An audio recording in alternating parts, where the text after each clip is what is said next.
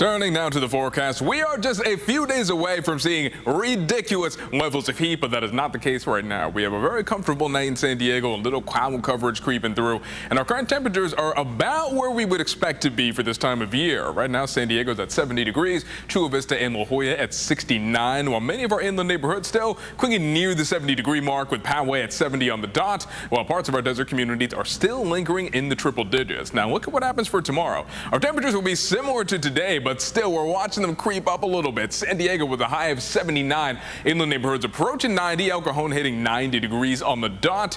And other spots like Santee hitting 90. Alpine tomorrow a high of 91. But then on Wednesday, the entire county except for the coastline is going to see an excessive heat watch. It's going to start up Wednesday morning at 11, going all the way until Friday night at 8. And you can see the way the heat index is going to move. So here's what it's going to look like for tomorrow. For Labor Day, we still are going to see some moderate heat risk for many of those inland neighborhoods, not so much along the coast. Then by the time we get to Thursday and we get a little bit later in the week, then we're seeing most of the county with moderate to major risk, some spots with extreme risk, and a lot of that is even going to extend to the coastline. So I'd love to say that he's not going to stick around too long. That's just not the case. We have the watch Wednesday, Thursday, and Friday, and we're going to start cooling down by the weekend, but even so, it's still going to be above average. So plan on extreme heat the next seven days and make sure to stay hydrated while are at it. Now, taking a look at San Diego's seven-day forecast, Labor Day sees a high of 79 degrees, and then the temperatures are jumping up by Friday. Friday is going to be one of the warmest days for the coastline, and San Diego is reaching up to 86 degrees.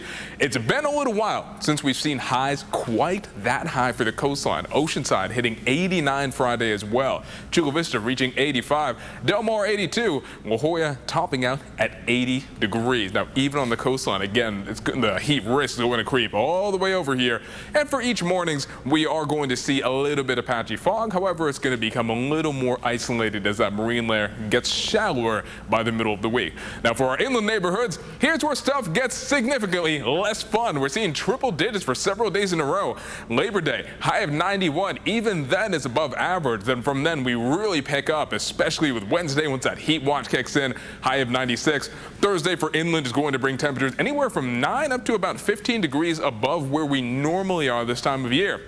That means on Thursday, Vista gets a high of 94. Campo, triple digits. El Cajon, high of 100. Ramona is going to reach all the way up to 105 degrees. There you can see where our seasonal averages are on the right side of your screen. Needless to say, it'll be incredibly hot for the middle of the week. But even once that want expires by Saturday, we're still looking at many places with highs in the mid 90s.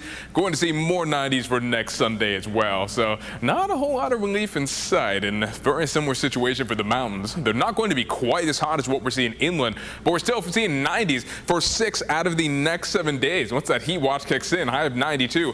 Thursday, an extremely hot day, high of 95, and we really need to watch out for the wildfire risk because of all that vegetation that's drying out in those parts of the East County. That risk could be even higher for the deserts, and they're seeing very, very high temperatures for the next seven days. The coolest day is going to be tomorrow with a high of 108 degrees, and by the time we get to Thursday, we will looking at 115. So moving forward, as Labor Day weekend draws closer and closer to a close, then the extreme heat is getting closer and closer.